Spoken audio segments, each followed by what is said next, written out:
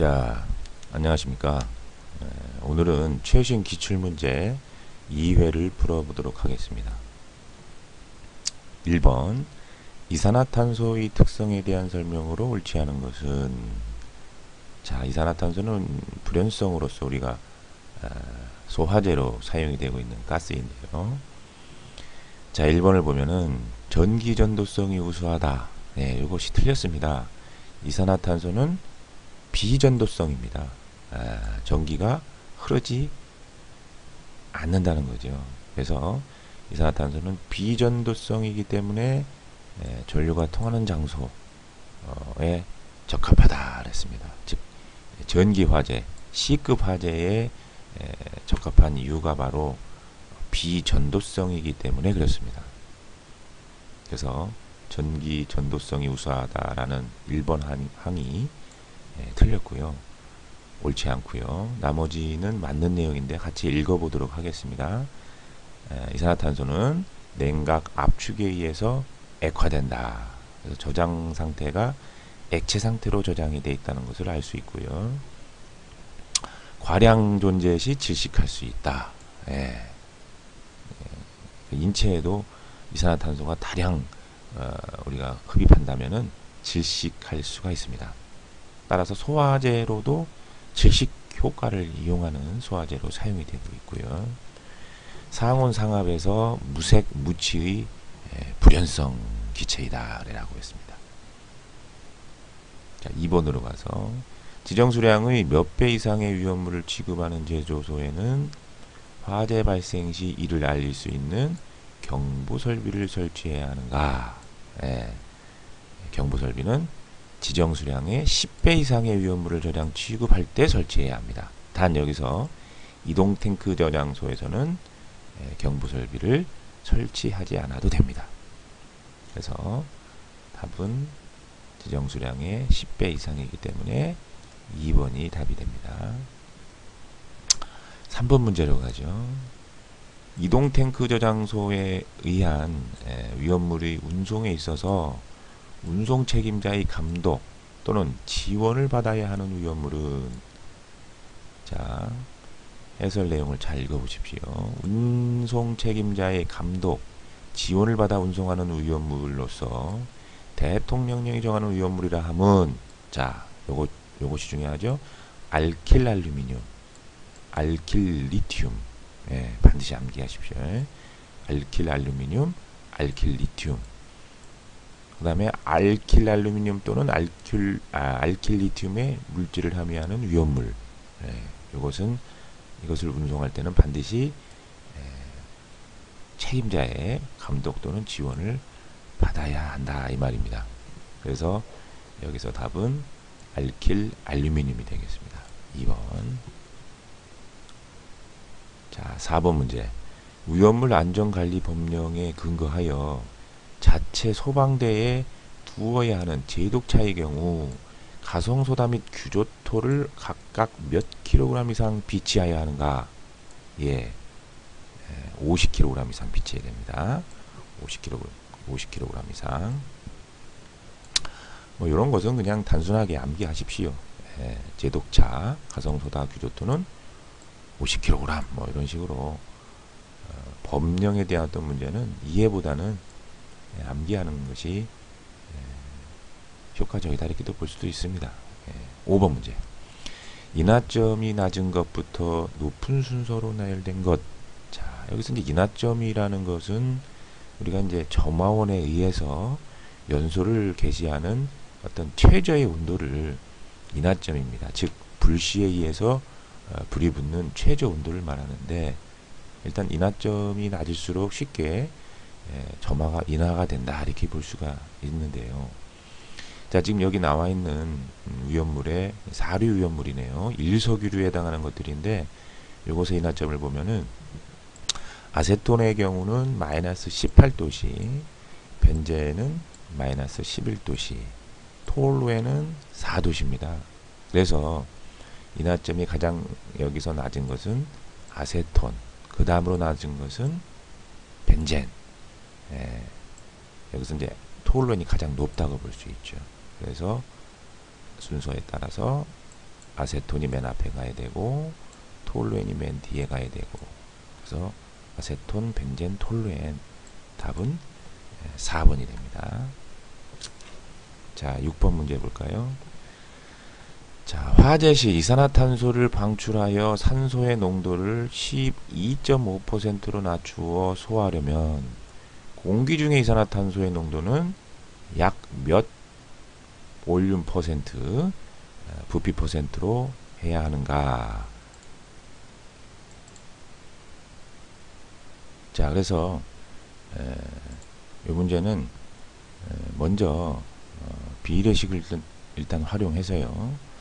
에, 공기의 농도를 구하고 전체 100에서 공기 농도를 빼주면은 이산화탄소 농도가 나올 수 있습니다. 그래서 에, 공기를 100으로 했을 때 공기 중에 산소가 21%가 있고 즉 21%일 때 공기가 100이고 그 다음에 문제에서 산소 농도를 12.5일 때 12.5%로 낮춘다 그랬죠. 그래서 12.55%일 때는 얼마냐? x를 구하면은 비례식이기 때문에 내항끼리 곱하고 외항끼리 곱하는데 x가 외항이니까 내항끼리 곱해서 외항으로 나눠주면 됩니다. 따라서 100 곱하기 25 나누기 21 해서 계산하면은 59.5%가 나옵니다. 이것이 공기의 농도예요. 그래서 전체 100에서 공기 농도 59.5를 빼면은 이산화탄소의 농도가 나옵니다. 40.5%가 나오는 것을 알 수 있습니다. 답은 3번이 되겠습니다.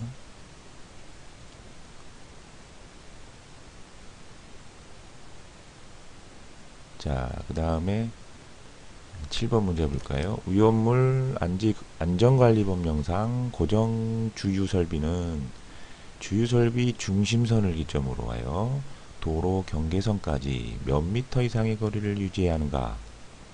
자, 고정 주, 주유 설비의 중심선을 기점으로 해서 도로 경계선까지는 4m 이상의 거리를 유지해야 됩니다.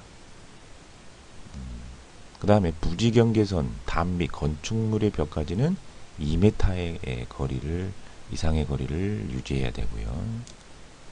여기서 이제 개구부가 없는 벽인 경우는 1m인데 일단 여기서 어, 문제는 고정 주유 설비의 중심에서 어, 도로 경계선까지이기 때문에 4m가 답이 됩니다.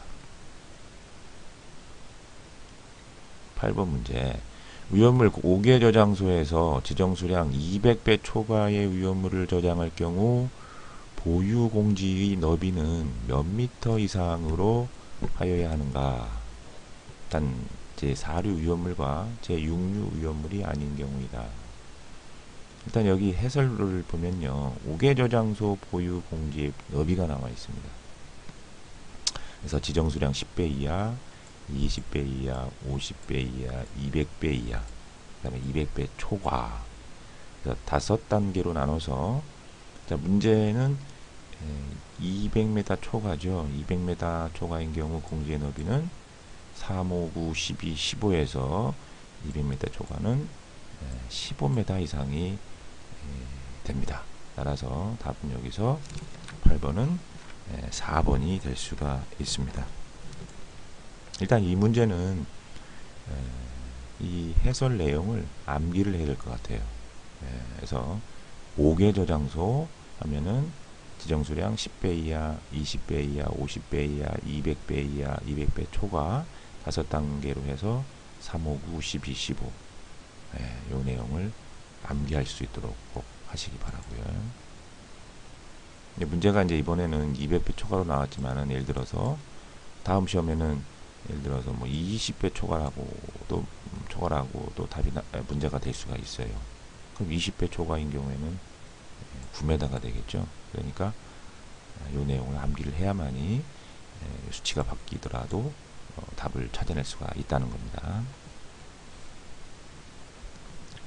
자, 9번 문제 볼까요? 소화 설비의 주된 소화 효과를 옳게 설명한 것은 자, 옥내 또는 뭐 옥외 소화전 설비는 질식 소화가 아니라 음, 물을 쓰기 때문에 냉각 소화가 되죠. 틀렸고요. 스프링클러, 물분무 전부 다 이것도 물이네요. 따라서 이것도 냉각 소화인데 억제 소화라고 했으니까 틀렸고 포 분말 소화 이것도 마찬가지로 포나 분말은 보통 이제 질식 소화가 주된 소화가 되죠. 그래서 예, 3번도 틀렸고 그럼 답이 4번이네요. 할로겐 화합물 소화. 예, 할로겐 화합물은 예, 억제 소화, 억제 소화가 됩니다. 맞습니다. 답은 4번. 10번 문제 볼까요? 다음 위험물이 화재 시 물에 의한 소화 방법이 가장 부적합한 것은 자 지금 보기가 아, 황린, 정린, 마그네슘분, 황분 전부 다 이류 위험물에 해당이 됩니다. 이류 위험물은 가연성 고체죠. 자 여기서 어, 마그네슘분 같은 경우는 절대로 물을 사용하, 사용하면 안 됩니다. 왜? 이 마그네슘은 마그네슘분은 물과 반응하면은 뭐가 발생이 돼요? 폭발성의 수소가스를 발생합니다. 대단히 폭발성이 강하죠. 수소는 따라서 어, 마그네슘분은 물에 의한 소화는 적당치 않고 그럼 뭘 사용해야 되느냐? 예, 마른 모래, 건조사, 금속 화재용 분말 소화 약제, 예, 탄산수소, 탄산수소 염류 이런 것을 이용해서 소화를 해야만이 효과적이다라고 볼 수 있습니다. 그래서 물에 의한 소화 방법으로 부적합한 것은 마그네슘분이다. 3번이 답이 됩니다.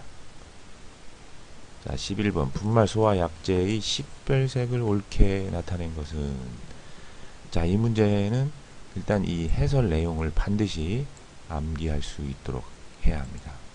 자, 분말의 종류가 아, 1종, 2종, 3종, 4종까지 있는데 자, 여기서 이제 1종 분말은 주성분이 탄산수소 나트륨이고 에, 이제 색깔은 착색은 백색입니다. 2종은 탄산수소 칼륨 에, 색상은 보라색 그 다음에 3종은 인산암모늄 핑크색입니다. 다몽색이라고도 하죠. 음, 일단 4종 어, 4종은 뭐 탄산수소 칼륨하고 요소가 주성분인데 회색입니다. 보통 우리가 이제 가장 많이 쓰는 소화 분말은 3종이 되죠. 예, A급, B급, C급까지 사용할 수 있는 3종 예, 분말을 가장 많이 씁니다. 예, 현장에도 보통 3종 분말 소화제가 많이 설치가 되어 있을 거예요. 그 사용하게 되면은 핑크색이 가루가 분말이 나오는 것을 볼 수가 있습니다. 자 이것을 반드시 암기하시고 자 여기서 옳게 나타낸 것은 예, 답이 2번이네요. 인산암모늄, 임산암모늄은 예, 다몽색, 핑크색입니다. 1번은 왜 틀렸습니까? 예, 탄산수소 칼륨은 백색이 아니라 보라색이죠. 보라색. 그 다음에 탄산수소 나트륨은 보라색이 아니라 백색. 예.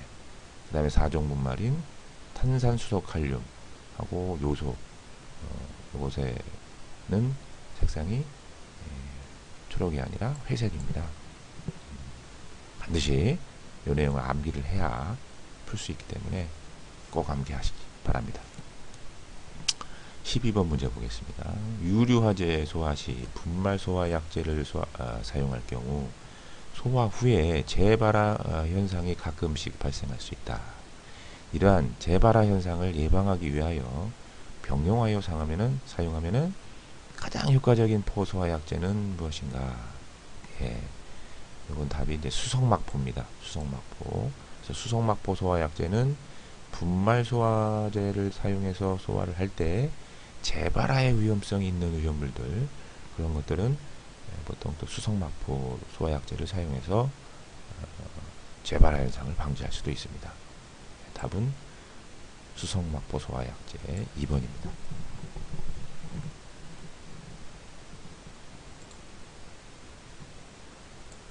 자, 13번 문제 보겠습니다. 위험물 제조소 등의 소화 설비 기준에 대한 설명으로 옳은 것은 자, 좀 문항이 좀 지면이 길죠. 자, 1번 제조소 등 중에서 소화 난이도 등급 1등급, 2등급 또는 3등급의 어느 것에도 해당하지 않는 것도 있다. 일단 뭐 답은 1번입니다. 자, 해설 내용을 읽어보면요. 자, 1항 보면은 옥내 탱크 및 옥외 탱크 저장소에서 고인화점 위험물만을 100도씨 미만의 온도로 저장하는 것 및 제6류 위험물만을 저장하는 경우는 소화 난이도 등급 1, 2등급 또는 3등급의 어느 것에도 해당하지 않는다 그랬습니다. 그래서 1번은 맞고요. 자, 2번은 왜 틀렸냐면은 5개 탱크 저장소의 난이도, 소화 난이도 등급을 판단하는 기준 중 탱크의 높이는 자, 탱크의 높이는 예, 뭡니까? 지반면으로부터 탱크의 옆판의 상단까지 높이를 말합니다. 그런데 여기서는 예, 뭐 기초를 제외한 탱크 측판의 높이다라고 했습니다. 그래서 2항이 틀렸고요. 2항도 틀렸고 3항은 제조소익, 소화 난이도 등급을 판단하는 기준 중 면적에 대한 기준은 건축물 외에 설치된 것에 대해서는 수평 투영 면적을 기준으로 한다 했는데 수평 투영 면적이 아니라 뭡니까? 연면적이죠. 연면적. 연면적을 기준으로 하고 그 다음에 사항을 보면은 제4류 위험물을 저장, 취급하는 제조소 등에도 스프링클러 소화 설비가 적응성이 인정되는 경우가 있으며 이는 수온의 수량을 기준으로 판단한다. 스프링클러는 수온의 수량이 아니라 여기서는 살수 기준 면적에 대한 방사밀도 이상을 기준으로 판단합니다. 그래서 4번도 잘못됐고요. 조금 이제 난이도가 있는 문제인데 예, 뭐 이런 식으로 출제가 또 됐었으니까 예, 문제들 한 번씩 또 풀어보길 바랍니다. 자, 14번 문제 보겠습니다. 수소와 나트륨 240g과 충분한 물이 반, 완전 반응하였을 때 발생하는 수소의 부피는 단 표준 상태를 가정하며 나트륨의 원자량은 23이다. 자, 일단요, 이 문제는 음, 이 수소와 나트륨이 물과 반응했을 때의 에, 반응식이죠. 그 반응식을 에, 알고 있어야 됩니다. 자, 이 수소나 수소와 나트륨은 에, 이건 삼류 위험물이죠. 제 3류 위험물, 즉 금수성 물질에 해당이 되는데 이 수소와 나트륨이 물과 반응하면은 수, 수산화 나트륨과 수소가스가 발생이 됩니다. 예, 그래서 이 반응식을 이용해서 비례식으로 풀어주면 돼요. 자 일단 에, 수소화 나트륨 1몰 반응했을 때 에, 수소가스가 1몰이 나온다는 거. 자 일단 이것을 알아두시고 자 그래서 수소화 나트륨 1몰은 에, 분자량이 24g이 됩니다. 왜? 나트륨의 원자량이 23이고 수소 원자량이 1이기 때문에 23 플러스, 플러스 1 하면은 24가 되죠. 그래서 수소와 나트륨 24g이 물과 반응해서 생성되는 부피는 1몰이죠. 모든 기체 1몰은 표준 상태에서 22.4리터입니다. 예, 그래서 24g 반응했을 때 22.4리터의 수소가 나오고 여기서 문제가 수소와 나트륨이 240g이니까 그럼 240g의 수소와 나트륨이 반응하면은 에, 얼마의 수소의 부피가 나오겠느냐 x는. 그래서 비례식이니까 내항끼리 곱하고 외항끼리 곱하는데 x가 외항이니까 외항 x로 나눠주면 돼요. 그래서 22.4 곱하기 240 이것을 24로 나눠주면은 224리터가 아, 수소의 부피가 되는 겁니다. 224리터. 그래서 답은 음, 2번이 되겠네요. 자, 여기서 이제 단위를 잘 여러분들이 신경을 써야 됩니다. 보통 이제 우리가 화학에서 어, 질량이 그램으로 반응할 때는 부피는 리터로 나와요. 음, 질량이 킬로그램으로 반응했을 때는 부피가 메다 삼성으로 나오고 그 관계를 알고 있어야 됩니다. 지금 여기서는 그램으로 반응했기 때문에 리터가 나온다는 거죠. 자, 15번으로 갑니다. 15번. 음, 소화 난이도 등급 1등급이죠. 1등급인 5개 탱크 저장소에 있어서 제4류 위험물 중 인하점이 섭씨 70도 이상인 것을 저장 취급하는 경우 어느 소화 설비를 설치해야 하는가? 단 에, 지중 탱크 또는 해상 탱크 외의 것이다. 자, 해설 내용을 보면요. 소화 난이도, 난이도 등급 1등급의 5개 탱크 저장소 예, 여기서 이제 인하점 70도씨 이상의 제4류 위험물, 위험물만을 저장 취급하는 것이라고 했습니다.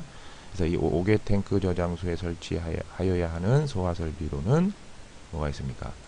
물분모 소화 설비하고 고정식 포 소화 설비입니다. 따라서 에, 여기서는 답이 2번이 되겠네요. 물분모 소화 설비. 자, 이것도 이제 안전관리 법령에 대한 문제인데 16번 위험물 제조소 내의 위험물을 취급하는 배관에 대한 설명으로 옳지 않은 것은 자 배관을 지하에 매설하는 경우 접합 부분에는 점검구를 설치해야 하고 맞습니다. 배관을 지하에 매설하는 경우 금속성 배관의 외면에는 예, 부식 방지 조치를 하여야 한다. 3번 최대 상용 압력의 1.5배 이상의 압력으로 수압 시험을 실시하여 이상이 없어야 한다. 이것도 맞습니다. 답이 이제 4번인데요. 지상에 설치하는 경우에는 뭐를 예, 배관을 위험물을 취급하는 배관을 지상에 설치하는 경우에는 안전한 구조의 지지물로 지면에 밀착하여 설치해야 한다 그랬는데 예, 밀착하면 안 됩니다. 자 해설 내용을 보면은 배관을 지상에 설치하는 경우에는 지진, 풍압, 집안 치마 및 온도 변해, 변화에 안전한 구조의 지지물에 설치하되 지면에 닿지 아니하도록 하고 왜 지면에 닿으면 부식이 되죠. 따라서 배관의 외면에 부식 방지를 위한 도장을 하여야 한다. 그래서 에, 지상에 닿지 않게 해야 되는데 지면에 밀착시킨다고 했기 때문에 배관을 따라서 답은 옳지 않는 것은 에, 4번이 됩니다. 자, 17번 문제 볼까요? 자, 위험물 제조소 등의 화재 예방 등 위험물 안전관리에 관한 직무를 수행하는 위험물 안전관리자의 선임 음, 시기. 예, 위험물 안전관리자의 선임 시기는 언제냐? 자 해서 읽어보면은 위험물 제조소 등의 화재 예방 등 위험물 안전관리에 관한 직무를 어, 수행하는 위험물 안전관리자의 선임은 예, 위험물 제조소 등에서 위험물을 저장 또는 취급하기 전 위험물을 저장 또는 취급하기 전까지 해야 합니다. 예, 전까지. 예, 따라서 답은 음, 저장 취급하기 전이기 때문에 예, 4번이 되겠습니다.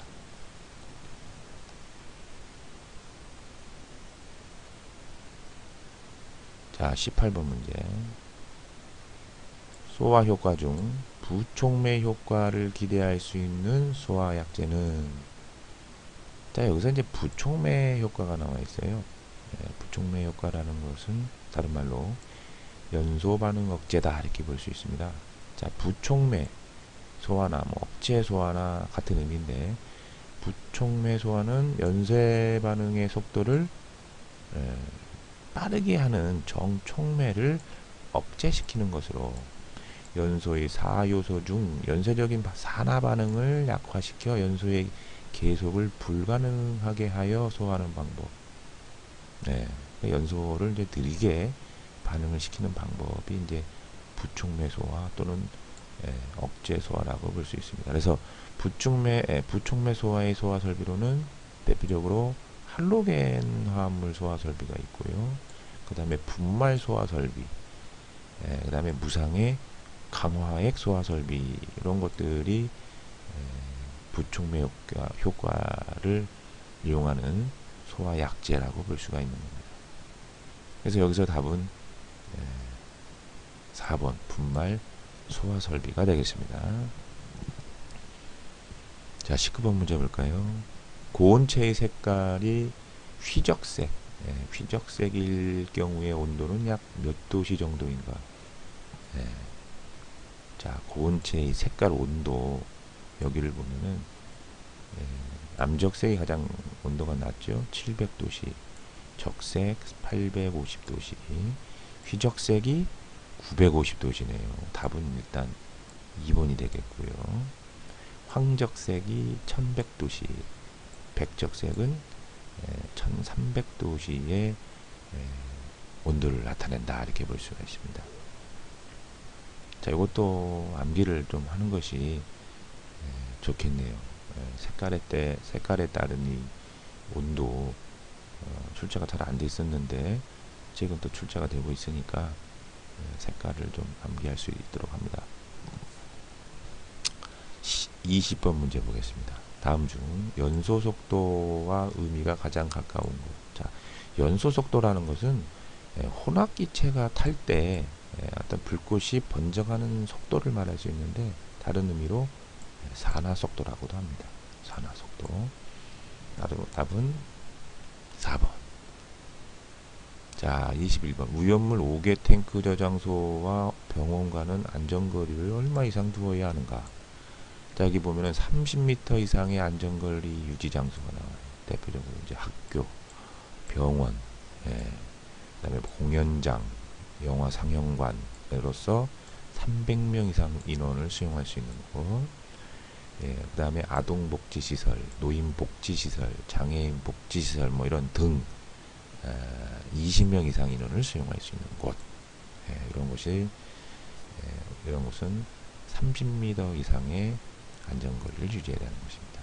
그래서 병원과는 30m가 됩니다. 22번 질산의 수소 원자를 알킬기로 예, 알킬기로 어, 치환한 제 오류 위험물의 지정 수량은 일단 질산의 수소 원자를 알킬기로 치환한 것은 에, 질산 에스테르입니다. 에, 질산 에스테르.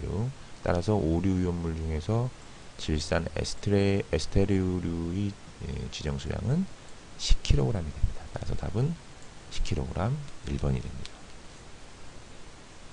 23번 문제. 우연물 제조소에 5개 소화전이 5개가 설치되어 있다.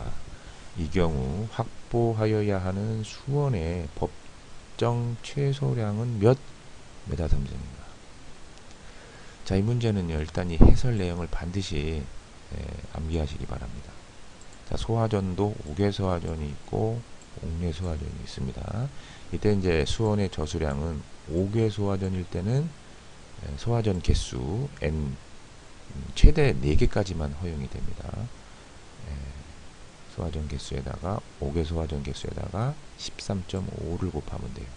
만약 옥내 소화전인 경우에는 에, 소화전 개수 n 근데 여기서는 최대가 5개까지입니다. 5개는 4개예요. 최대가 아무리 많아도 4개까지만 적용한다는 거죠. 옥내는 아무리 많아도 5대, 5개까지만 적용하고요. 그래서 다섯 대, 최대 5대 개수에다가 소화전 옥내 소화전 개수에다가 7.8을 곱하면 됩니다. 하여튼 일단 이 문제는 이 공식 두 가지를 반드시 알아두시고 지금 문제는 5개 소화전이죠. 5개 소화전인 경우에는 최대 4개까지만 허용이 되기 때문에 5개가 있어도 4개까지만 적용합니다. 그래서 4 곱하기 13.5 5개는 13.5를 곱하죠. 54 네, 답은 54 3번이 됩니다. 3번 반드시 암기하세요. 이것을. 자, 24번으로 갑니다. 다음은 위험물을 저장하는 탱크의 공간 용적 산정 기준이다. 가로에 알맞은 수치로 오른 것은 자, 일단 뭐 이 해설 내용을 일단 먼저 읽어 보겠습니다. 위험물 저장 탱크의 공간 용적 산정 기준. 가 위험물을 저장 또는 취급하는 탱크의 공간 용적은 탱크의 내용적에 얼마예요? 100분의 5 이상 100분의 10 이하의 용적으로 한다. 예, 100분의 5 이상은 예, 95%. 예, 그 다음에 예, 100분의 10 이하는 90%로 볼 수가 있습니다.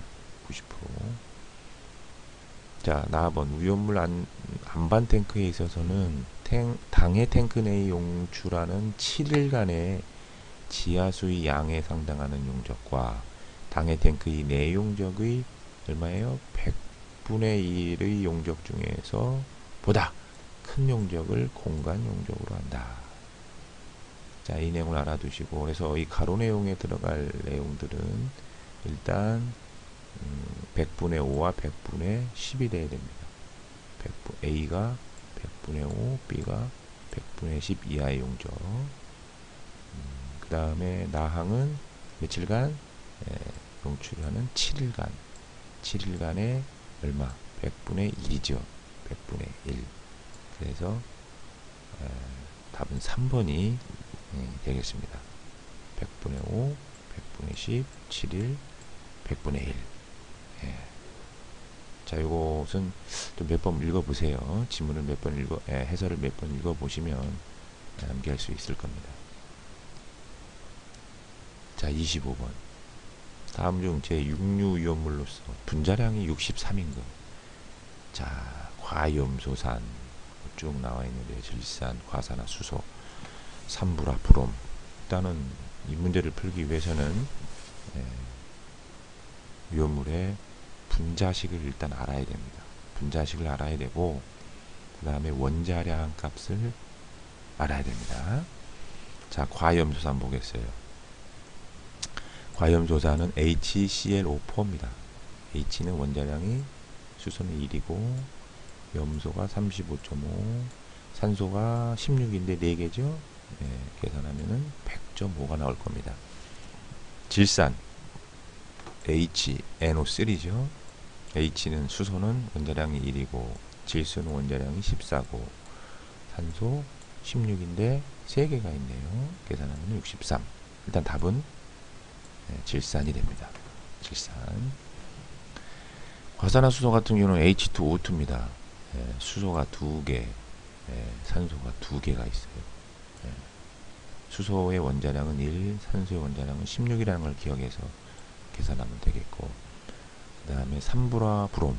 예, 여기서 브롬은 예, 원자량이 80 불소 예, 불소는 원자량이 19예요. 근데 F3죠. 3개니까 이걸 계산하면 137이 됩니다. 답은 질산이었죠. 63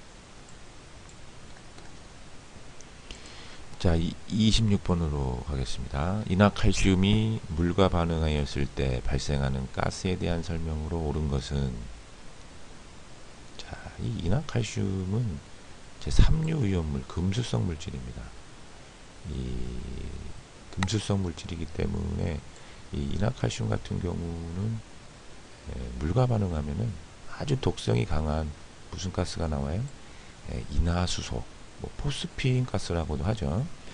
예, 인화수소를 발생합니다. 인화수소. 그래서 인화칼슘은 예, 유독한 물과 반응했을 때 유독한 인화수소를 발생한다. 2번이 예, 됩니다. 27번 위험물 안전관리 법령에 따른 위험물이 적재 방법에 대한 설명으로 옳지 않은 것은 자 1항을 보면은 원칙적으로는 운반 용기를 밀봉하여 수납하라. 당연한 것이고 고체 위험물 예, 용기 내용적의 95% 이하의 수납률로 수납률로 수납할 거. 예, 고체 위험물은 95%입니다. 그럼 액체 위험물 얼마예요? 용기 내용적의 99%가 아니라 98% 이하죠. 이하. 98% 이하의 수납률로 수납을 해야 되는데 99% 이상이라고 나왔네요. 답은 3번입니다. 음, 사항도 읽어볼까요? 하나의 외장 용기에는 다른 종류의 위험, 위험 물을 수납하지 않을 것 맞습니다. 자, 28번 주유 취급소에서 자동차 등의 위험물을 주유할 때에 자동, 자동차 등의 원동기를 정지시켜야 하는 위험물의 인하점 기준은 자, 이것도 이제 해설 내용을 보면요. 자동차 등의 인하점 40도씨 미만의 위험물을 주유할 때는 자동차 등의 원동기를 정지해야 한다. 예. 다만 연료 탱크의 위험물을 주유하는 동안 방출되는 가연성 증기를 해소하는 설비가 부착된 고정 주유 설비에 의하여 주유하는 경우는 그렇지 않다. 예. 일단은 위험물 주유할 때 주유 취급소에서 어, 자동차 등의 원동기를 정지해야 하는 위험물의 인하점 기준은 몇 도시? 40도씨 미만입니다. 40도씨 미만. 답은 3번.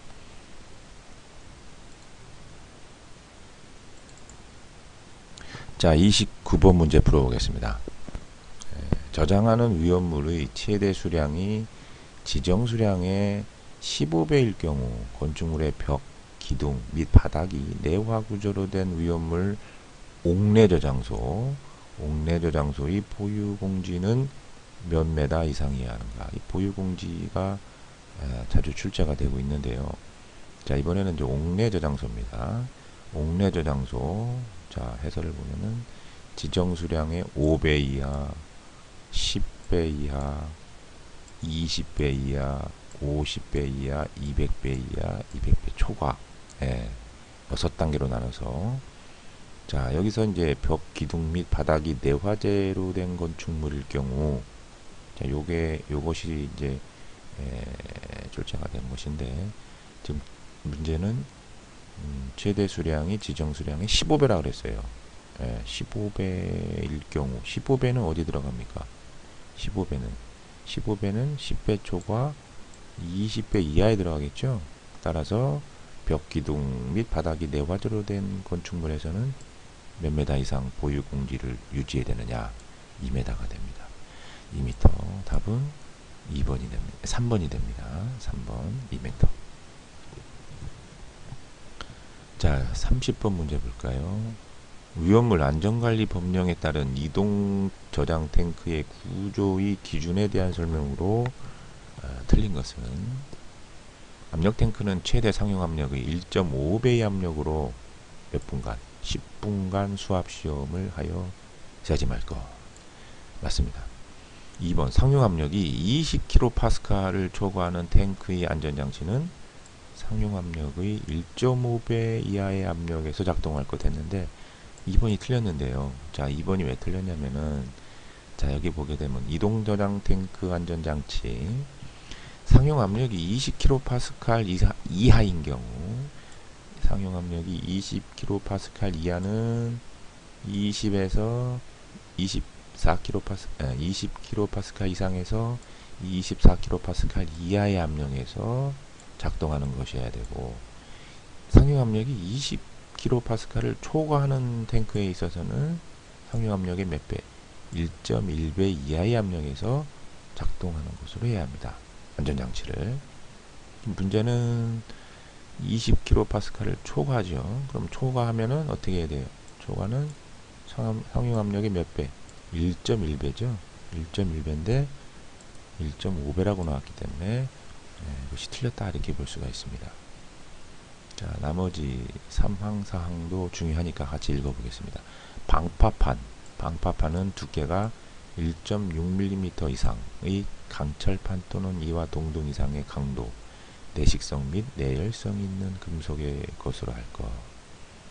그 다음에 4번 탱크는 두께 3.2mm 이상의 강청, 강철판 예, 또는 이도, 이와 동등 이상의 강도, 내식성 및 내열성을 갖는 재질로 할 것.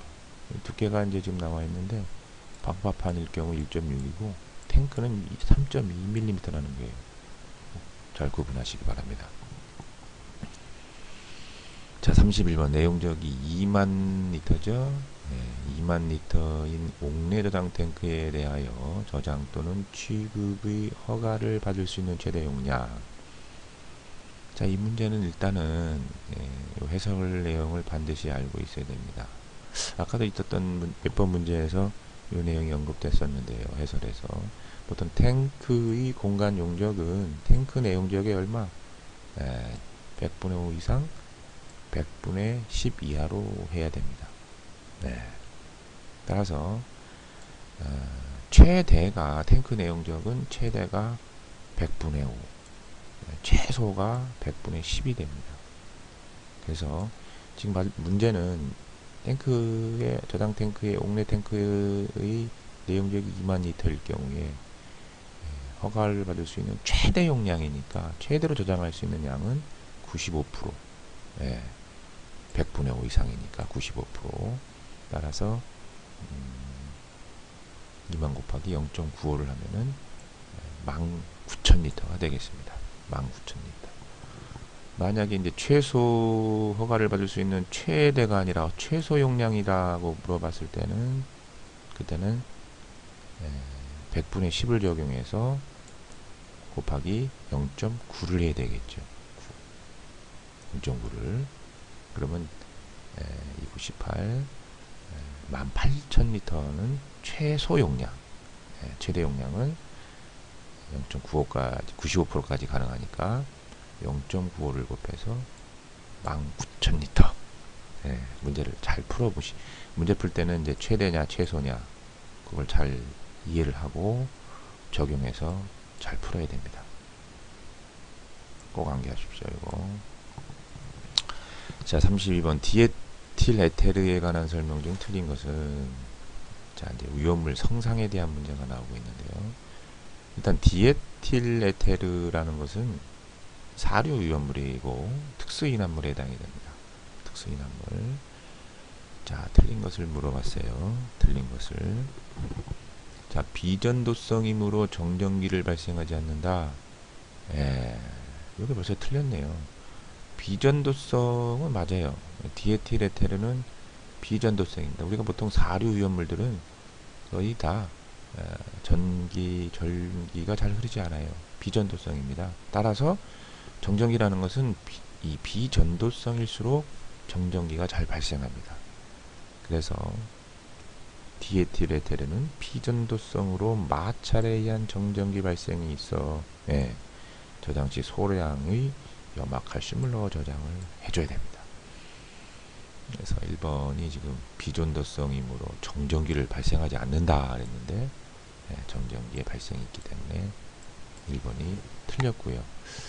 나머지는 맞는 내용이니까 맞는, 내, 맞는 내용인데 같이 읽어볼까요? 무색 투명한 유동성의 액체 예, 사류는 인화성 액체죠. 휘발성이 매우 높고 마취성을 갖는다. 공기와 장시간 접촉하면 폭발성의 과산화물이 생성한다. 맞습니다.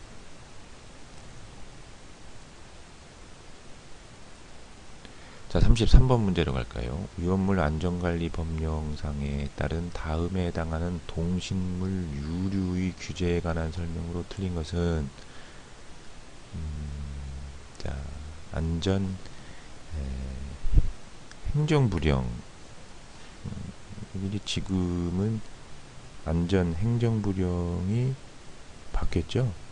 아, 뭐로 바뀌었습니까?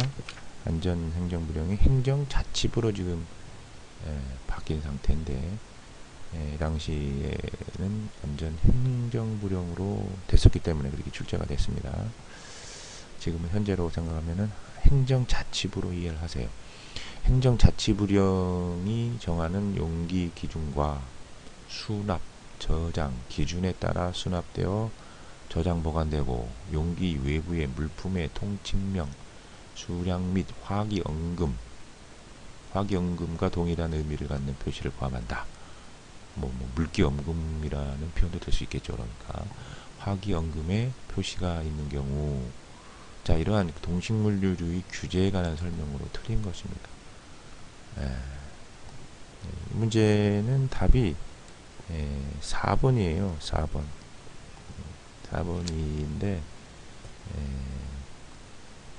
틀린 게 4번이니까 1, 2, 3번은 다 맞습니다. 위험물에 해당하지 않는다 했는데 이 해설 내용을 읽어보면은 자 동식물 유류라 하면은 동물이 지육 또는 동물이 종자나 과육, 과육으로부터 추출한 것으로서 일기압에서 인화점이 몇 도시 250도시 미만인 것을 말한다.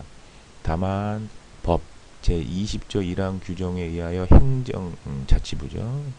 예, 행정자치부령으로 정하는 용기 기준과 수납 저장 기준에 따라 수납되어 저장 보관되고 용기 외부의 물품의 통칭명, 수량 및 화기연금, 화기연금과 동일한 의미를 갖는 표시를 포함한다.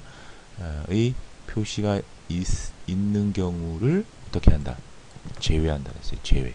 예, 이런 경우는 이 내용에 포함되는 경우는 제외한다.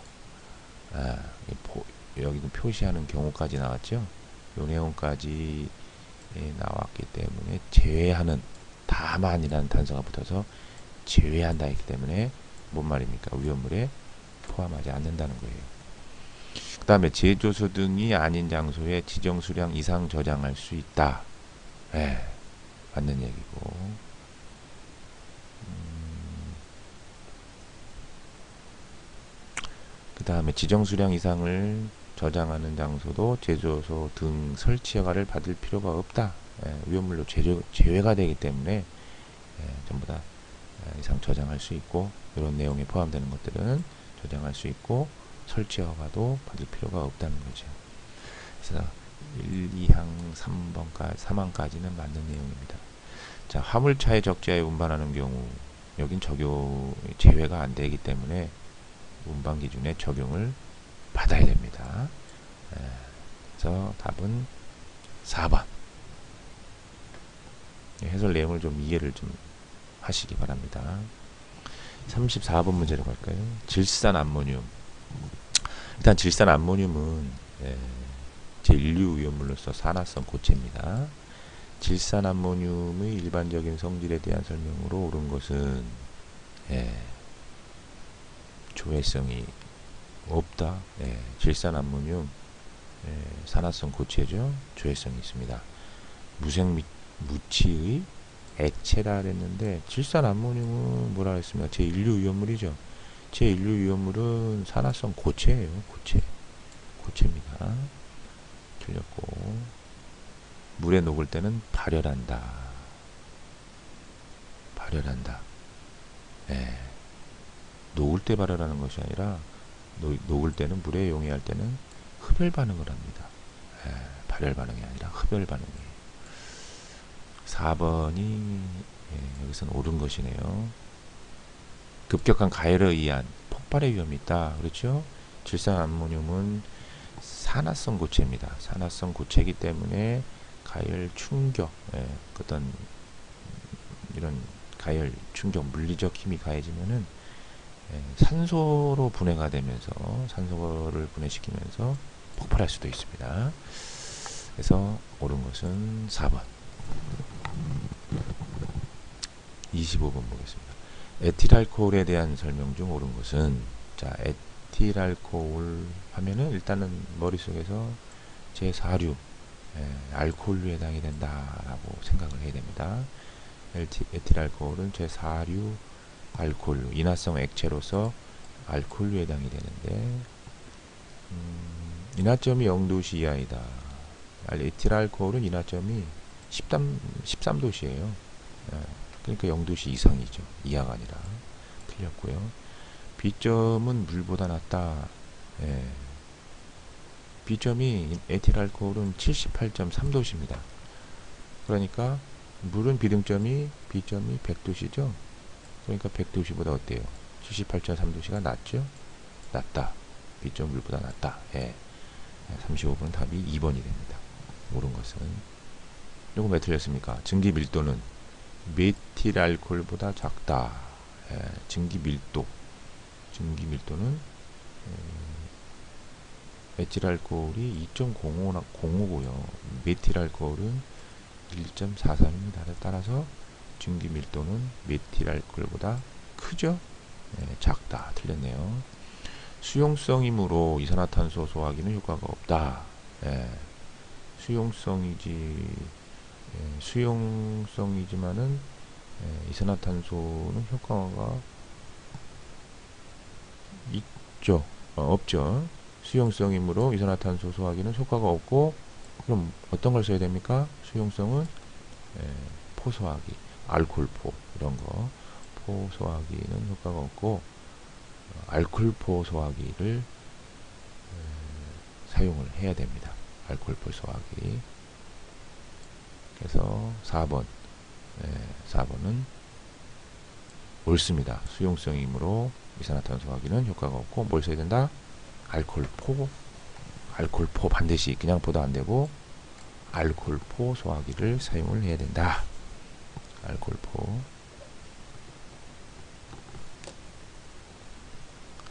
자, 36번을 보겠습니다. 36번.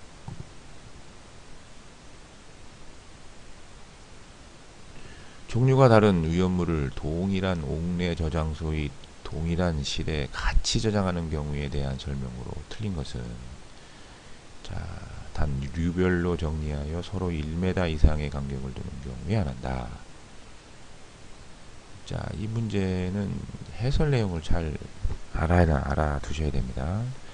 유별을 달리하는 위험물은 동일한 저장소에 저장하지 아니하여야 한다. 음, 다만 옥내 저장소 또는 옥외 저장소에 있어서 다음의 항목의 규정에 의한 위험물을 저장하는 경우로서 에, 다음 항목이 나와 있습니다. 에, 위험물을 유별로 정리하여 저장하는 한편 서로 1m 이상의 간격을 두는 경우에는 그러하지 아니하다.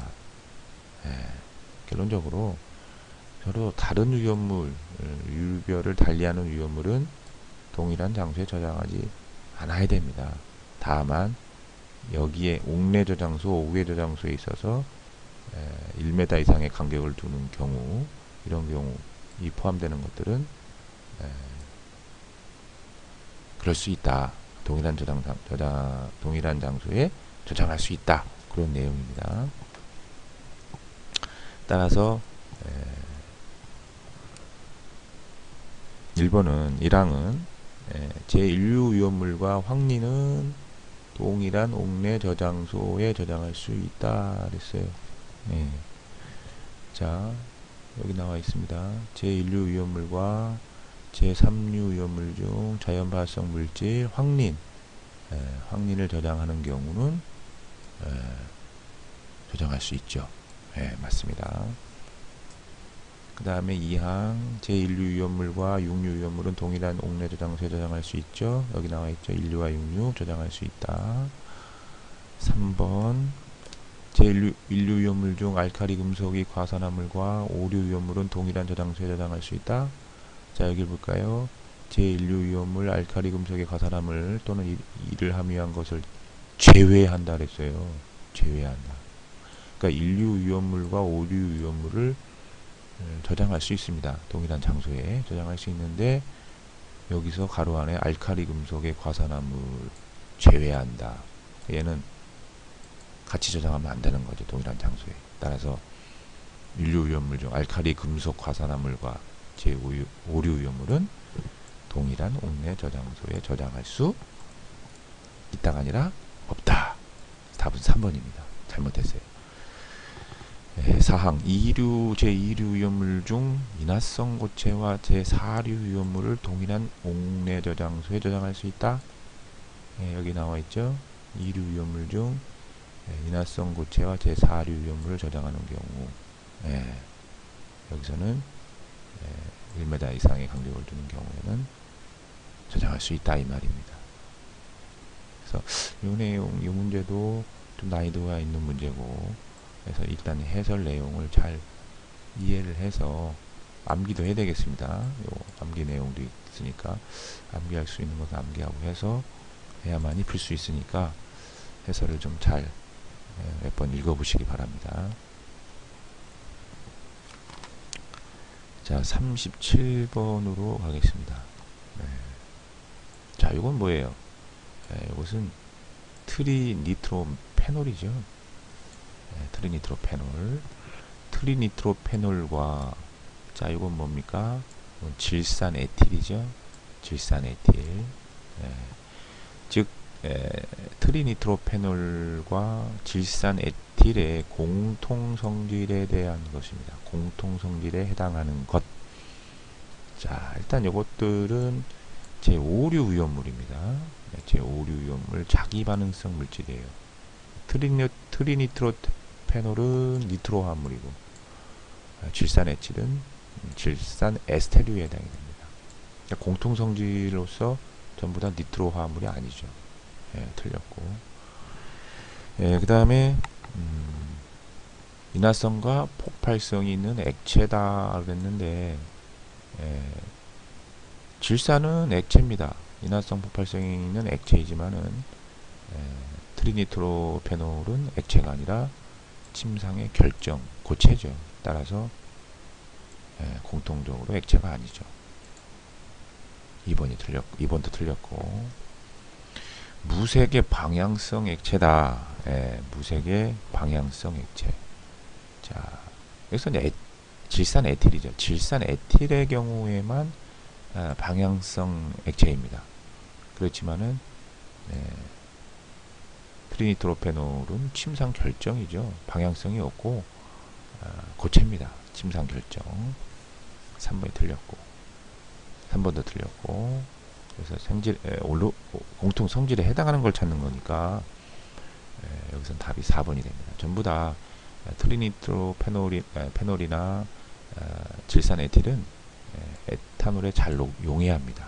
에, 에탄올에 잘 용해가 되기 때문에 에, 4번이 여기서 정답이 됩니다. 38번으로 가죠.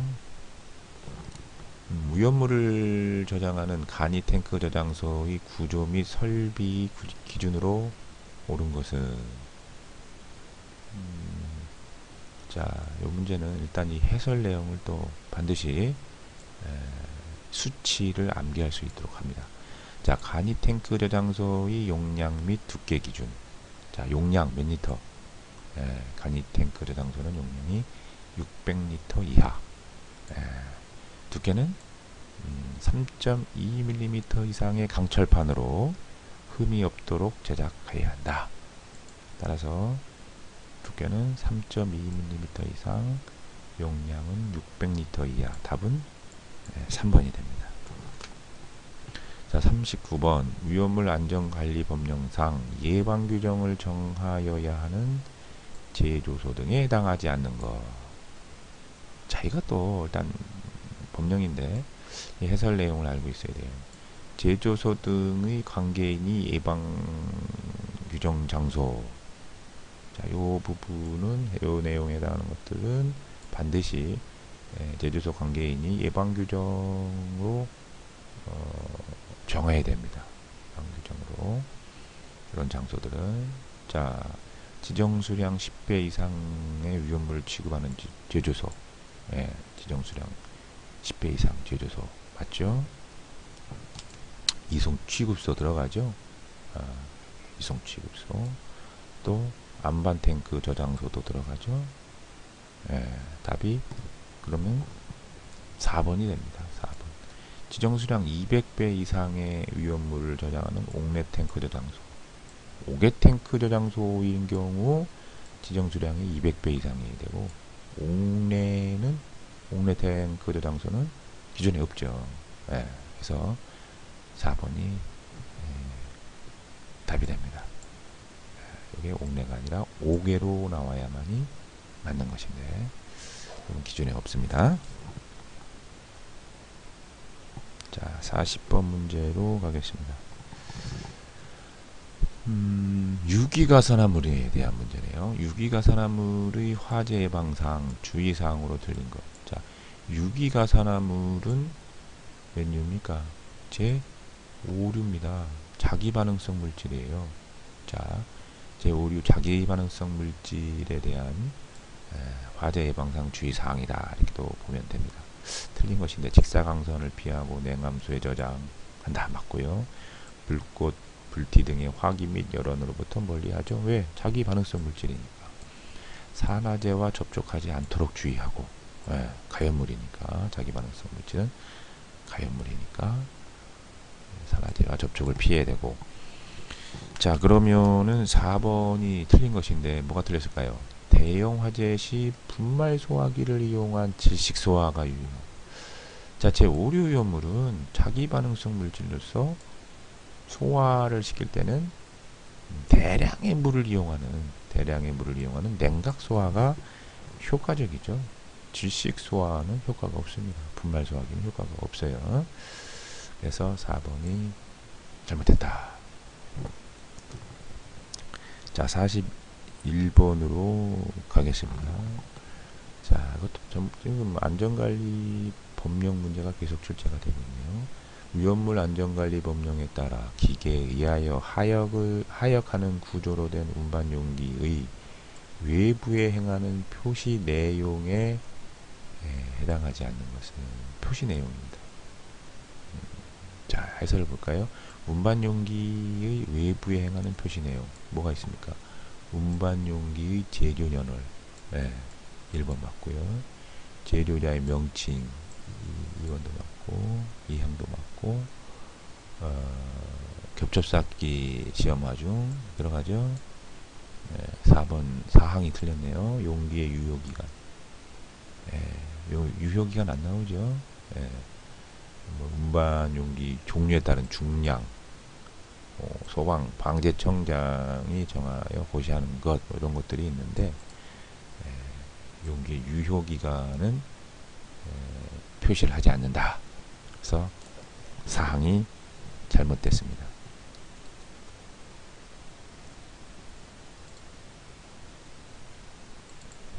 자, 그 다음에 이제 에, 42번 문제 보겠습니다. 자, 산화성 고체의 저장 에, 및 취급 방법으로 옳지 않은 것. 자, 여기서 산화성 고체라는 것은 제 인류위험물이죠. 인류위험물. 에, 자, 인류위험물의 저장 취급 방법으로 옳지 않은 것은 자, 가연물과 접촉 및 혼합을 피해야 한다. 맞고요. 분해를 촉진하는 물품의 접근을 피한다. 예, 맞습니다.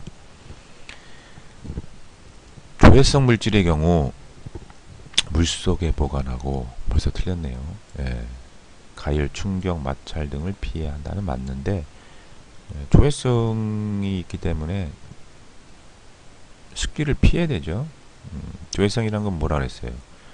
에, 고체가 산화성 고체가 공기 중에 수분을 흡수해서 어, 녹아들어 녹는 성질을 말하죠. 녹는 성, 수분을 흡수해서 녹는 성질. 음, 녹아버리면 안 되죠. 그래서 어, 조해성 물질의 경우에는 습기를 피해하여 용기를 밀전하여 보관하고 에, 가열 충격, 마찰 등을 피해야 된다 그랬습니다. 음, 3번이 틀렸습니다. 아, 4번 사항도 읽어볼까요? 알칼리 금속의 과산화물은 물과의 접촉을 피해야 한다. 예. 물과 접촉되면은 분해돼서 산소가 방출이 되죠. 자, 43번 문제로 갑니다. 제 오류 위험물을 취급하는 위험물 제조소에 설치하는 주의사항 게시판에서 표시하는 내용과 바탕색, 문자색으로 옳은 것. 자, 이 문제도 에, 일단 이 위험물 제조소 게시판의 색상 이것을 반드시 또 색깔을 암기를 해야 되겠네요. 음, 물기염금을 표시하는 것에서는 에, 청색 바탕에 백색 물청백입니다. 물청백 에, 물기연금은 청색 바탕 백색 문자 화기연금 화기 어, 어, 화기주의나 화기연금 을 표시하는 것에 있어서는 적색 바탕에 백색 문자 화적 백으로 암기하면 돼요. 물청백 화기연금 화기주의 화적백 물청백 화적백 꼭 암기하시고. 그럼 여기서 어, 화적백이 답이 되겠죠? 화적백. 예, 화적백. 예, 답이 4번이 됩니다. 일단 제 오류 위험물은 예, 화기연금이라고 표시를 합니다 이제 혼돈이 갈 수 있는데 화기주의는 가연성 고체죠 이류 위험물에서 화기주의가 나오고 오류 위험물 제조소는 에, 화기연금이라는 게시판을 설치를 해야 돼요. 이때 이제 화기연금에 대한 에, 바탕색은 적색 바탕에 백색 문자로 문자로 해준다는 겁니다. 자, 답은 4번이고요. 44번으로 갑니다. 황의 성질로 옳은 것. 자, 황. 자, 황하면 일단은 머릿속에서 또 뭐가 나와야 되느냐? 제2류 위험물 가연성 고체가 떠올라야 됩니다. 제2류 가연성 고체 전기 양도체다 에, 부도체입니다. 따라서 정전기 축적에 주의를 해줘야 되고 물에 잘 녹, 녹는다? 녹지 않습니다. 물에 잘 녹지 않으나 어디 잘 녹아요? 황은 이황화탄소에 잘 녹습니다. 이황화탄소에 자, 그 다음에 이산화탄소와 반응한다. 이산화탄소. 예. 이산화탄소와 반응한다 그랬는데 음, 이산화탄소와 반응하는 것이 아니라 황은 고온에서 탄소와 잘 반응을 해요. 예, 탄소와 반응해서 이용화탄소가 생성이 됩니다. 예, 답은 4번이겠네요. 미분, 분말가루를 말하죠. 미분은 분진 폭발의 위험이다. 예, 황의 예, 가루는 예, 공기 중에 떠다닐 때 예, 마찰에 의해서 정전기가 발생이 되고 해서 어, 발화가 돼서 폭발하는 분진 폭발의 위험성이 있습니다. 그래서 답은 옳은 것은 4번입니다. 자, 45번 봅니다. 경유를 저장하는 5개, 탱, 어, 5개 저장 탱크의 반지름이 2m 이고 높이가 12m일 때 탱크 옆판으로부터 방류제까지 거리는 몇 미터 이상이어야 하는가. 자, 여기서 일단 이 해설 내용을 일단 꼭 됩니다. 알아놔야 되는데. 자, 방류제는 5개 저장 탱크의 지름에 따라 그 탱크의 옆판으로부터 다음에 정하는 거리를 유지해야 한다. 다만 인하점 200도씨 이상의 위험물을 저장 지급하는 것에 있어서는 그러하지 않다. 음, 자, 일단 에, 지금 문제는 5개 저장 탱크의 반지름이 2m고 높이가 12m일 때 에, 탱크 옆판으로부터 방류제까지의 거리입니다. 이때 자 이 거리 산정식을 보면은 지름에 관련이 되는데 지름이 15m 이, 이 미만이냐 15m 이상이냐에 따라서 에, 계산 방법이 틀립니다. 지름이 15m 미만인 경우에는 네, 탱크 높이의 3분의 1 이상의 거리를 유지해야 돼요. 탱크 옆판하고 방류제까지 거리를. 그 다음에 이제 15m, 지름이 15m 이상인 경우는 탱크 높이 예, 2분의 1 이상. 예, 지름이 클수록 더 많은 거리를 이격시켜주라 그런 생각에 그런 의미죠. 예, 이상인 경우는 2분의 1 이상. 그러면 이제 이 문제는 지금 이제 반지름으로 나왔어요. 반지름이 2m. 반지름이 2m면은 지름은 4m죠? 예, 지름이 4m가 됩니다. 그 4m는 어디에 해당이 돼요? 예, 15m 미만에 해당이 되죠. 그럼 15m 미만인 경우에는 탱크 높이의 3분의 1 이상으로 해주면 됩니다. 그럼 탱크 높이가 몇 미터예요? 12m죠. 12m 곱하기 3분의 1, 4m. 즉 탱크 옆판으로부터 방류제까지는 4m 거리를 유지해야 되는데 자, 이 문제 풀기 위해서 답은 1번인데 이 문제 풀기 위해서는 요 기준을 반드시 암기를 하시기 바랍니다. 46번 3황하린과 5황하린의 공통점이 아닌 것은 3황하린, 5황하린 몇 류예요? 2류죠. 유류유물은 뭡니까? 가연성 고체입니다. 자, 이것의 에, 공통점이 아닌 것. 물과 접촉하여 인하수소가 발생한다. 예. 물과 접촉해 가지고 인하수소가 발생되는 것은 3항아린, 5항아린이 아니라 뭡니까? 삼류위험물인 인화칼슘이죠. 금수성 물질인 인화칼슘. 음. 인화칼슘이 물과 접촉했을 때 에, 인화수소가 발생이 되는 겁니다. 에, 일단 답은 1번이 되고요. 3항아린과 5항아린 가연성 고체죠. 이류 연물은 전부 다 가연성 고체입니다. 에, 분자식이 P와 S로 P와 S로 이루어져 있다. 예. 그죠? 사망아리는 인 4개, 황 3개. 예, 오항아리는 인두 개, 황이 다섯 개, 예, 인하고 황으로 이루어져 있습니다. 연소 시 오산화린과 이산화황이 발생이 됩니다. 예, 그래서 답은 1번이 되고 자 47번으로 갑니다. 다음 위험물 품명 중 지정 수량이 나머지 세 개와 다른 거 지금 뭐 염소산 염류 해가지고 질산 염류, 무기가산화물, 과염소산 염류 전부 다 예, 인류 위험물이죠. 산화성 고체 위험물, 인류 위험물이 지금 보기에 주어져 있습니다. 그러면은 일단은 이 인류 위험물의 품명과 그에 따른 지정 수량 반드시 암기해야 됩니다.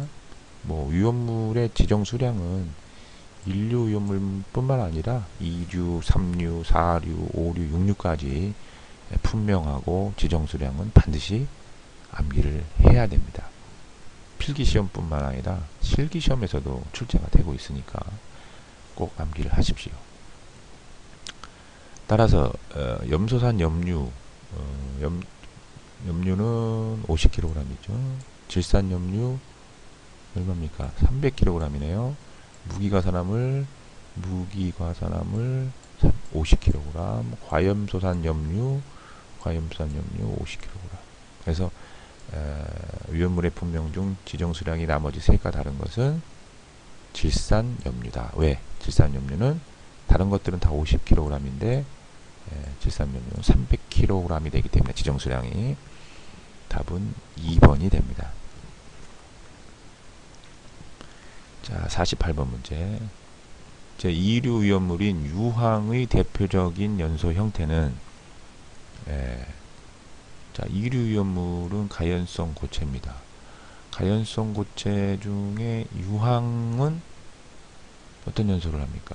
고체는 일반적으로 뭐 표면 연소나 분해 연소, 뭐 자기 연소도 할 수 있겠죠. 그러나 유황 같은 경우는 고체이지만은 증발 연소를 합니다. 일단 열을 가하면은 이것이 상태가 아, 고체에서 액체 상태로 바뀌었다가 아, 이것이 이제 증발하면서 연소를 일으켜요. 그래서 뭐 유황뿐만 아니라 증발 연소하는 물질들이 뭐 나프탈렌, 예, 나프탈렌이나 우리 양초 있죠, 어, 고체 파라핀 이런 것들은 예, 증발 연소를 하는 대표적인 물질입니다. 고체 중에서 유일하게요. 그래서 답은 3번이 됩니다. 증발 연소.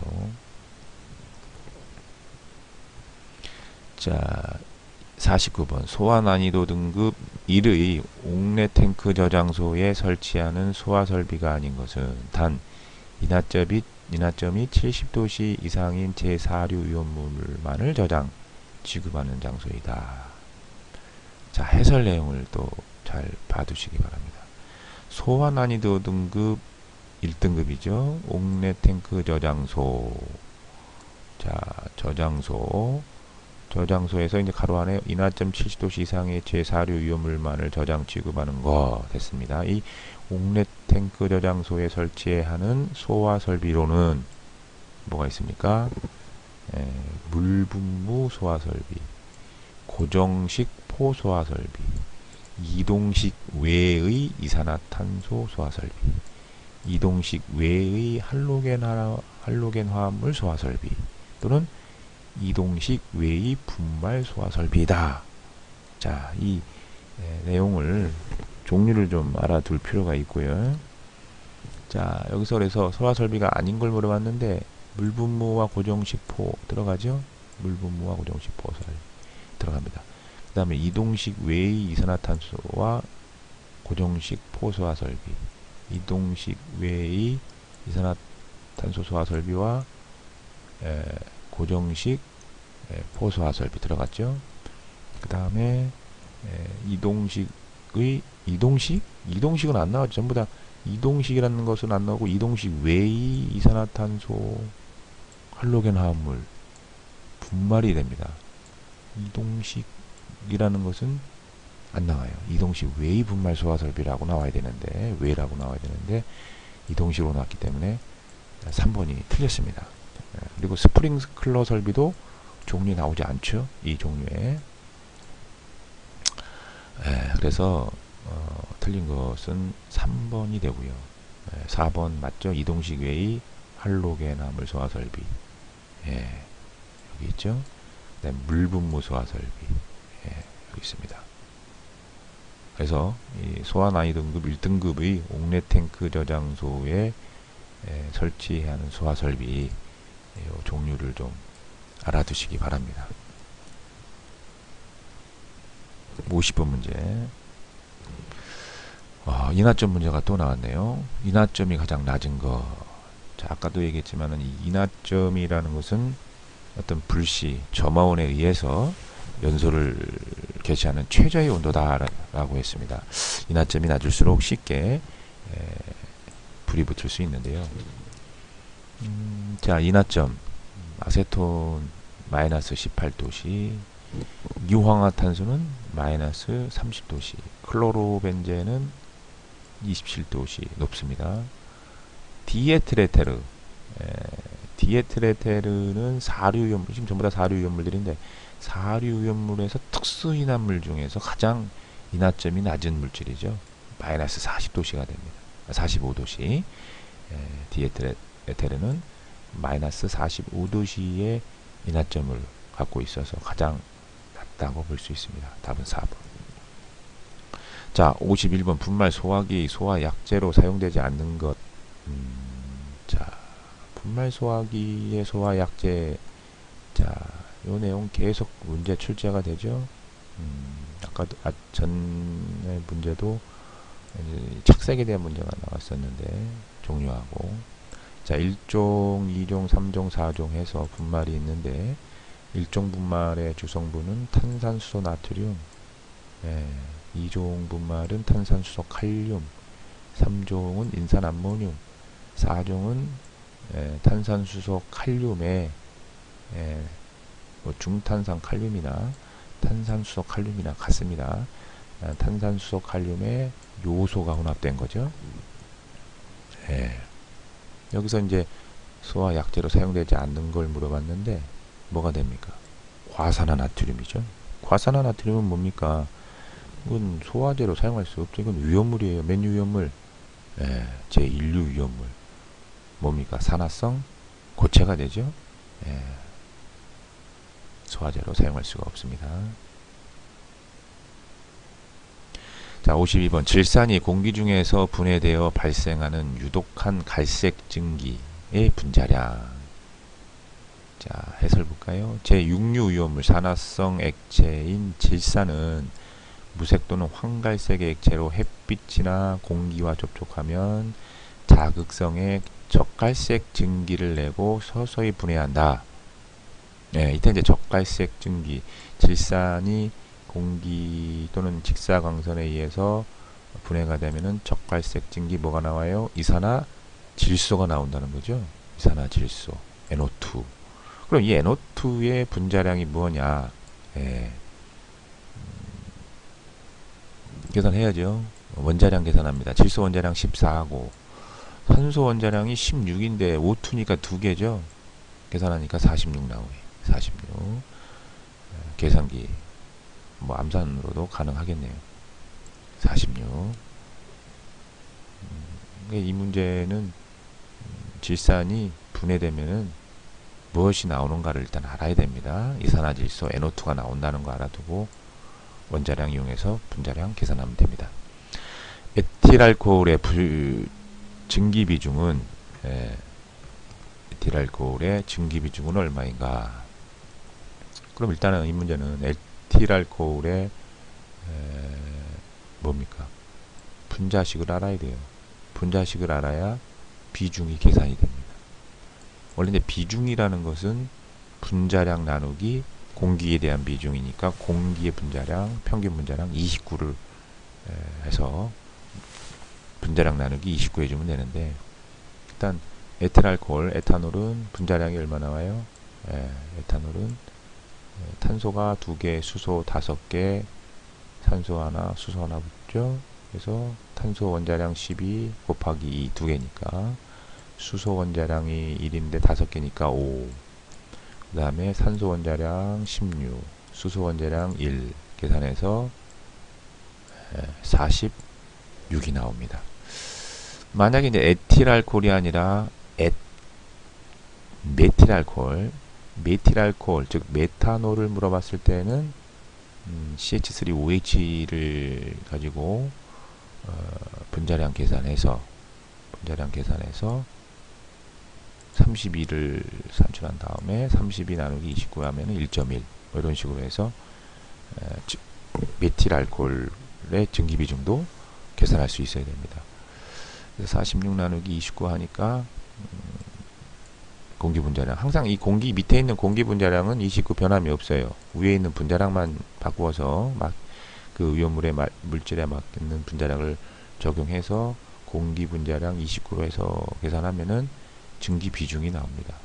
예, 1.59 예, 나오죠? 답은 4번. 자, 위험물 안전관리 법령상 예방 규정을 정하여야 하는 제조소 등의 관계인은 위험물 제조소 등에 대하여 기술 기준에 적합한지 여부를 정기적으로 점검을 하여야 한다. 법적 최소 점검 주기에 해당하는 것은 예. 자 해설 내용을 보세요.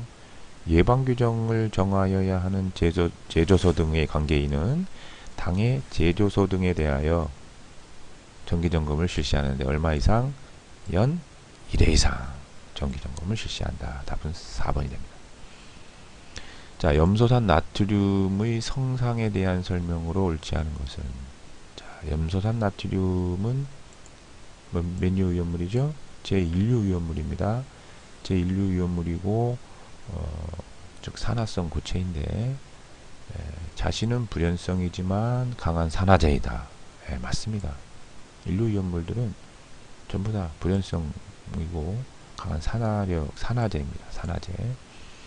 유리를 녹임으로 유리를 녹임으로 철제 용기에 저장한다. 이게 틀렸죠. 에. 예. 자 해설을 볼까요? 예. 제1류 인류 위험물인 염소산 나트륨은 산화성 고체로서 저장 시 철제 용기의 사용은 피해야 합니다. 철제 용기에 저장했을 때 이 철제가 충격이 가해지게 되면은 스파크가 일어날 수 있고 그래서 이 염산 나트륨이 어떤 그 열의 스파크 충격 마찰이한 열에 의해서 분해를 일으킬 수 있어요. 그래서 철제 용기의 사용은 절대로 피해야 됩니다. 그리고 환기가 잘 되는 냉암소의 밀봉 밀전에서 저장한다. 음, 2번이 틀렸고요. 3번 열분해하여 산소를 발생한다. 금방 얘기했죠. 상가 반응하면 유독성의 이산화염소를 발생한다. 예, 이 내용도 잘 알아두시기 바랍니다. 일단은 답은 2번 나왔고요. 아, 56번 탄화 알루미늄 1몰을 물과 반응시킬 때 발생하는 가연성 가스의 종류와 양은 일단 탄화 알루미늄은 몇류 위험물입니까? 에, 제 3류 금수성 물질에 해당이 됩니다. 따라서 물과 반응하면은 뭐가 나와요? 탄화 알루미늄이 예, 반응식 보면은 탄화 알루미늄이 물과 반응해서 어, 수산화 알루미늄이 나오죠. 예, 그리고 중요한 것은 무슨 가스? 메탄가스가 나온다는 겁니다. 메탄가스. 메탄가스. 우리 뭐 어, 도시가스의 연료로 사용되고 있는 것이 이제 메탄 가스인데 음, 그래서 반응식을 보면은 뭐 반응 이 문제는 탄화 알루미늄과 아, 물과 반응했을 때에 에, 발생되는 가스를 물어봤는데 반응식을 꼭 알고 있어야 됩니다. 그래서 탄화 알루미늄 1몰과 물 12몰이 반응해서 수산화 알루미늄 3, 4몰이 나오고 물은 아, 메탄은 3몰이 나오죠. 메탄이 3몰 나옵니다. 따라서 메탄 3몰. 예, 여기서 메탄이 예, 3몰이 나올 수 있는 것은 여기 보면은 이 탄화 알루미늄이 알루미늄이 4개고 탄소가 3개예요. 탄소가 3개이기 때문에 에, 메탄은 산물이 나오게 됩니다. 에, 참고적으로 알아두시고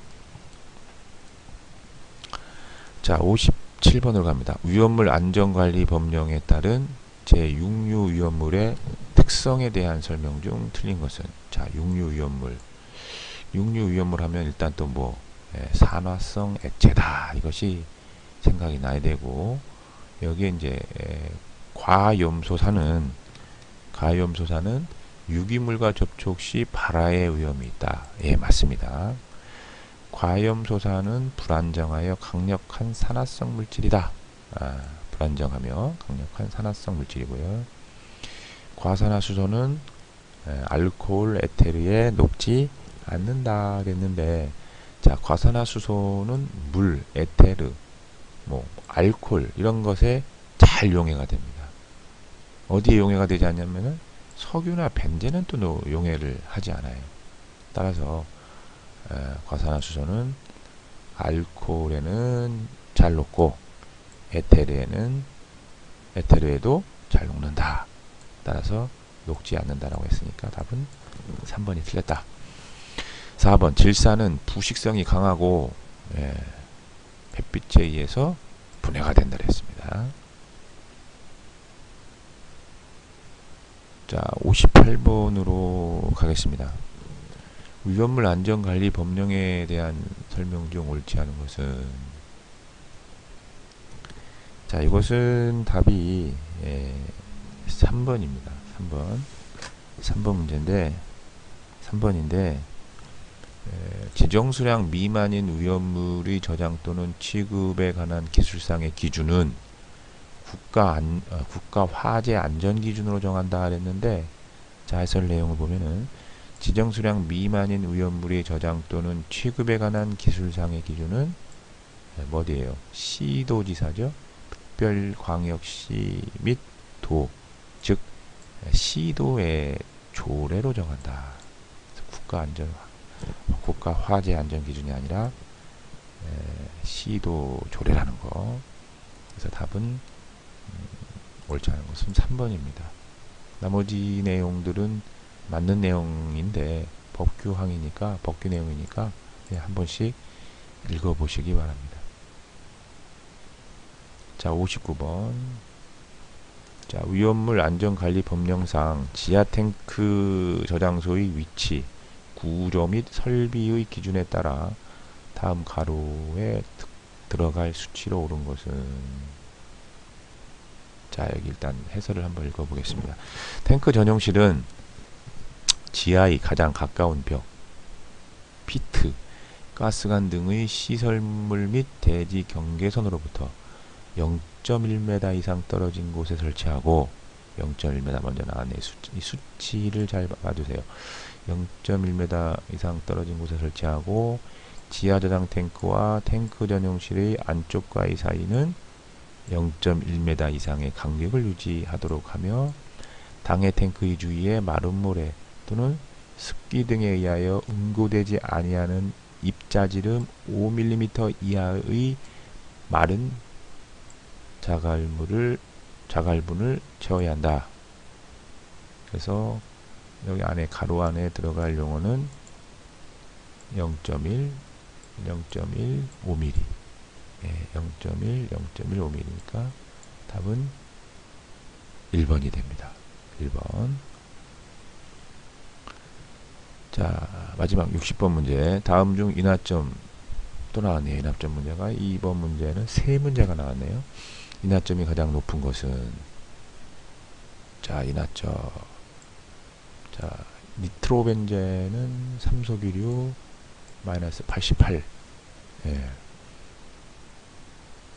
클로로벤젠은 제2석유류 아 마이너스가 아니네요 마이너스 아닙니다 삼석유류 예, 88도씨 이석유류 32도씨 예, 클로로벤젠 32도씨, 톨루엔 4도씨, 에틸벨, 에틸벤젠 15도씨입니다. 그래서 일단 인하점이 가장 높은 거니까 아, 니트로벤젠이 됩니다. 니트로벤젠. 88도씨.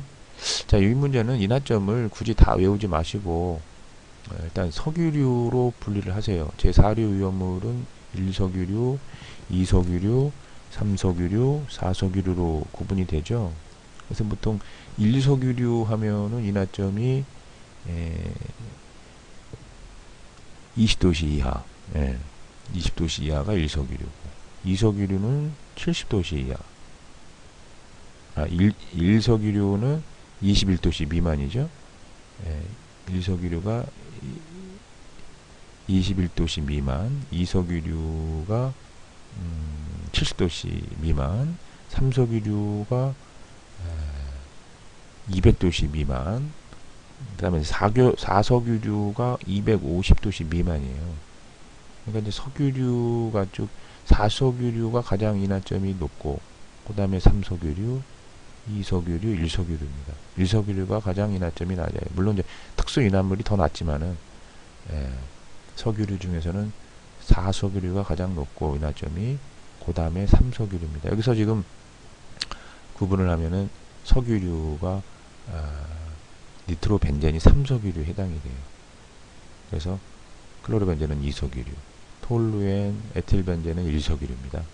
그래서 에, 굳이 뭐 인하점을 암기하지 않더라도 석유류를 안다면은 또 어, 쉽게 풀 수도 있는 문제인데 하여튼 인하점이 가장 여기서 높은 것은 에, 니트로벤젠 에, 답은 1번이 됩니다.